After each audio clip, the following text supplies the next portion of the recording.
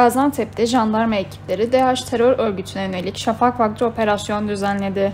Operasyonda ülkeye yasa dışı yollarla geçerek terör eyleminde bulunabileceği değerlendirilen ve Suriye bölgesinde DH terör örgütü içerisinde 2015-2017 yılları arasında yol kontrol noktası nöbetçisi olarak faaliyet gösterdiği tespit edilen Suriye uyruklu bir şüpheli yakalandı.